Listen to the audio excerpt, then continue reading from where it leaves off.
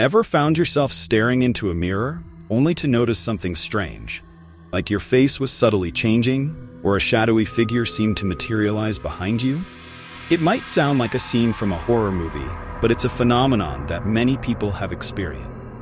This eerie sensation is actually linked to something known as the Troxler effect. But what exactly is going on? The Troxler effect is a fascinating optical illusion that occurs when you fixate on a single point for an extended period.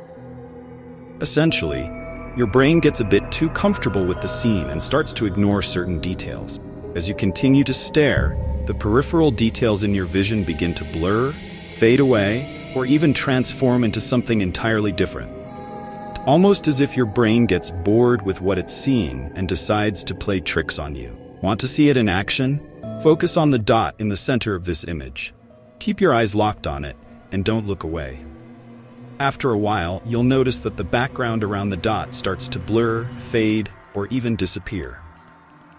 This is the Troxler effect at work, a perfect example of how our brains can alter our perception. But here's where it gets even more interesting and a little creepy. When you stare at your own reflection in a mirror, especially in dim lighting, the Troxler effect can make things really weird. As you focus intently on your reflection, your brain begins to filter out the familiar details of your face. Before you know it, your features might start to warp, or you might even see ghostly figures lurking in the shadows. So, why does this happen?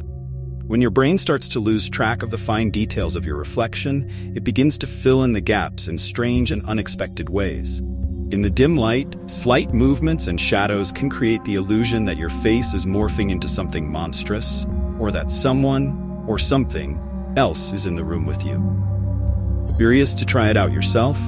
Find a dimly lit room, stand in front of a mirror, and hold your gaze for a few minutes.